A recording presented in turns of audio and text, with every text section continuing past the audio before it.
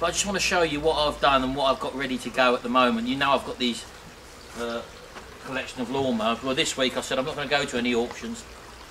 And all I'm going to do is work on the stuff which I've actually got here. Otherwise I'm just having loads and loads of stock because at the end of the season I don't want to be left with a load of lawnmowers. So that's why I've, I'm not going to many auctions this week or maybe even next week. So let's just show you what I've done within the last couple of days. This is one I bought the other day when I bought three mowers. It was a self-propelled one. I can't remember what I paid for it now. This is this this come with the other one, the two 15 pound mowers. So as you can see, I actually repainted the deck on that one. That one's ready to go. That's on eBay at the moment, so that one's ready to go now. This one's actually been sold. This was another one I repainted. Um, you might remember that one. That has actually been sold now. That's waiting collection tomorrow. This one's nearly finished. This little plastic one. Uh, that's up to about £50 at the moment, believe it or not. So happy with that one. And this is one which I was working on first thing this morning, 10 to 9. I had a chap come round the other day, a local lad, who uh, see my lawnmowers on eBay and decided to obviously that he wanted one. He was going away on holiday. He wanted that the red one up there first of all, but as I say, I can't withdraw that because I've got somebody else bidding on it. So I said this one was ready. This one will be ready to go by the time he comes back. So I've actually done that this morning. All I've literally done is clean it up, give it a good service, and I've uh, didn't need to repaint that one. Everything works well, and that's ready to go now. So there's about a 75 pound, 80 pound mower there. Uh, he'll pick that up obviously tomorrow or the day after when he comes back off his holiday. So there's that that that mower there, that mower there, three mowers there ready to go, and this one over here, which is just gone on eBay. So there's four mowers there in total, all ready to go. So I've just started on another one now. Again, this had a broken uh, bolt that was stuck in there, and the handle was all flappy, and the rear adjusters weren't working. So I've just pulled this back section off, and you probably know I've got that one down there which come without any wheels. I'll just remove that back section off that one. I'll paint the deck on this one actually, and this will look uh, as good as new when it's actually painted with that new back section in. As I say, I think I might have a grass box. It won't be the proper one for this. Uh, it'll probably be one of these ones here. Uh, that one there, for example. We'll have to make a slight alteration to the bracket on it, but that's not a problem. And yeah, that's what that's where I am at the moment. You can see what I've got left. I've got another one of them left. I've got that's an old deck which I've uh, just used used for parts. As I say, the old deck's rusted out there, so I'm not too worried about the deck. It's just the other bits levers and wheels and stuff. That one is possibly nearly ready to go. That just needs a handle sorting out, I think. That one there, again, I bought that for parts, that one. That'll have a good engine on it. The deck's actually been repaired with fiberglass, but I'm not too worried about that. That one there, I've actually used the motor and the wheel off of that one for another mower, which is now gone. There's another little one there, I think looks like a champion or something like that. Um, again, without a grass box but just wants a basic clean up and it's ready to go. There's a, a Flymo in the corner there. Then I've got this Empress which has got a rear roller. I've got another Mountfield petrol mower there, again without a grass box but I may be able to adapt another one of them, if not I'll have to sell that without the grass box. There's another uh, Mountfield Quantum over there which I think is a fiberglass body one but I'm not too sure about that one whether that needs a repaint or whether it's just going to be a clean up job. I'm not too sure how they repaint to be honest with you. There's another mount Mountfield down there. Again, that's a big one without any box again. That's just a spare base. There's another mount Mountfield there with an engine and a box, but it's an old looking one. I'll probably repaint that one. It's aluminium with the white handles. As I say, you know about this mount Mountfield one. And there's also another mount Mountfield there with a scabby base and another uh, I'm not too sure what that one is to be honest with you. It is a Mountfield yeah that one is a Mountfield so again without a box. So that's there. Now let me just show you what else I've got as well. Then we've got this little cubby hole. Here you haven't seen this one. There's a few mowers in here. Mostly the old Qualcast or or whatever. What else we got there? There's a plastic one there. I don't know what that is there's another Flymo one at the top there. There's a nice Hayter there actually. I didn't even know I had that. How about that? Look. I'll probably dig that one out. That's got to be worth a few bob, that Hayter. Um, there's another little Hayter body there, which I think I bought for spares. So yeah, I mean these little ones here, these little um, punch 35 classic punches. I think I bought three of these. One, two, three. Yeah, I've got three of these. I've also got this old Honda motorbike here, which is still awaiting my treatment. You've probably seen on my channel that I've done the other one, but that's just another one I've got waiting to go. So yeah, I mean this is this is the other side of my log cabin. If you if I knock a hole through that door, I'll be in the other log cabin basically. So I want to utilise this space to put a, a, workbench along there, and also use this uh, as a, a working area, mostly for either spraying or actually repairing stuff. So yeah, that's that's all these have got to be done. So I'm going to start cracking on and doing these now, and hopefully you'll see them on the videos. Now for those of you that are interested, this is my little compressor. I do go on about that I use a compressor quite a lot. But basically it's a Clarke Raider 60. I think that relates to the size of the um, the tank or something. Is it 60 litre it might be? I don't know, I'm not too sure. But this thing is um, what I use for quite a lot of stuff.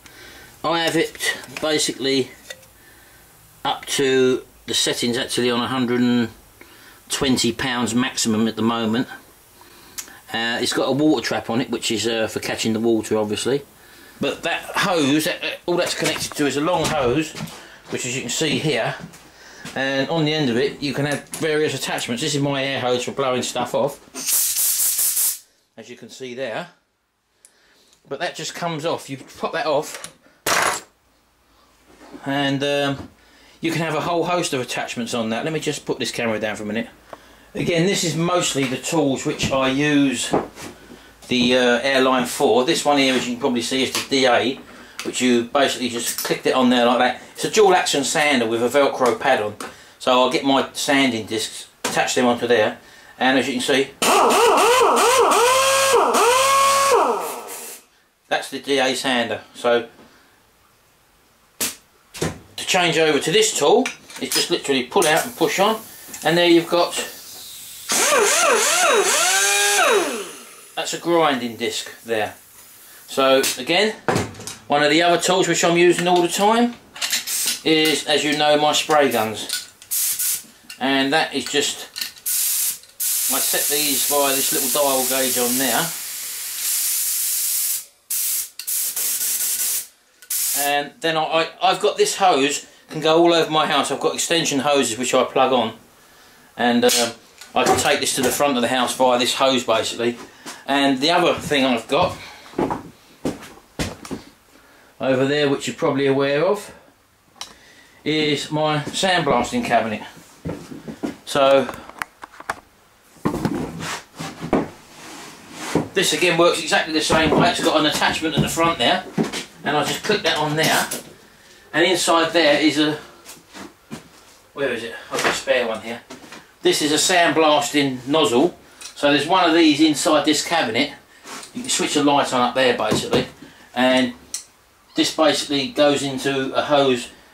This is full of sand or grit media or whatever in the bottom there. And you can put your equipment in there that needs to be sandblasted. Turn the vacuum on because it's got a, a, a suction extraction at the end there. And you're basically cleaning parts with this when it's shooting out sand and grit. So this hose basically does a multitude of things but mostly when I'm doing car bodywork repairs. There you go. That's, that's that. Use it for spraying.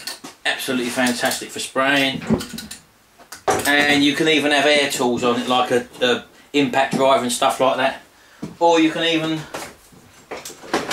use it to pump your tyres up or inflate things. There's a car attachment there for pumping your car tyres up basically. So that is one of the benefits of having air tools. If you're going to be running um, a sandblasting cabinet like I've got here, it can struggle because when I'm sandblasting, it's basically running near enough all the time. So, but for the, the spraying, you you you can ha have a much smaller compressor than the one I've got there and that will do the job perfectly. So yeah, basically all you're doing is changing the settings on the compressor for the different types of work. The sandblasting cabinet I think that requires 90 to 100 psi. Uh, the DA, I just leave that at the same setting. I don't basically touch them settings on there. The only thing I touch the settings for is with the actual spray guns, and the spray guns have got their own um, bar gauges on, so I alter the pressure basically via there. So, yeah, I spray at 28 ps. Uh, is it 28 psi? Yeah, two bars, about 28 psi when I'm spraying a car, but I might turn it down just a little bit for other things. And as I say, that's the grinding wheel for cutting metal or cutting off bolts or stuff that are a bit stuck. Great tool that. Cut all sorts of sheet metal with that. Yeah, so basically that's it. That's a compressor. That's what I use the compressor for. Plus the main thing, as I, as I said to you, is blowing down parts, cleaning parts out. If I clean something out in some petrol or whatever, and then I just attach that to the end of it.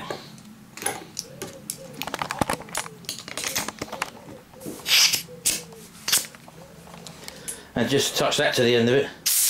That will blow absolutely anything away. Look how strong that is. Look. That's from standing about five foot away. You see that agitating all that. That's how strong that is. And it blows all the crap away. So, yeah, get yourself a small compressor. That's the one I've got there. It's a Clarke Raider. I've had this one about seven or eight years. Um, and as I say, it's it's um, I've never really used it until I started doing these little little ventures about repairing stuff, the cars I've been spraying and stuff like that. But um, if you're definitely doing this sort of work, it's one of the tools to get, and they're not very dear. You don't you ain't got to spend a lot of money. I think you can get a decent one for about 150 pounds. Yeah. So as I say, the sandblasting cabinet will take a lot of air, but for general spraying or even sanding or using these tools or blowing, just blowing parts clean and stuff like that, absolutely fantastic. So there you go. That's what I've been up to. I'm gonna have some lunch now because uh, Sharon's doing doing a sandwich, but I'm gonna get this one ready. Look at that lovely day out there. Look, absolutely fantastic. And I'm working out in this, so happy days, eh? Enjoy. Thanks very much for watching.